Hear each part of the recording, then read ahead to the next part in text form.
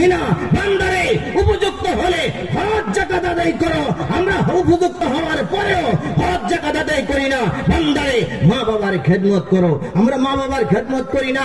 বান্দারে বড়দেরকে ইজ্জত করো? আমরা বড়দেরকে ইজ্জত করতে পারি না। বান্দারে নেশা করবে না। নেশা করি। বান্দারে মিথ্যা বলবে না। মিথ্যা করি। এত আইন কানুন মা না মানার কারণেও আপনি নামাজ, পঞ্চাশ বছর নামাজ পড়েননি।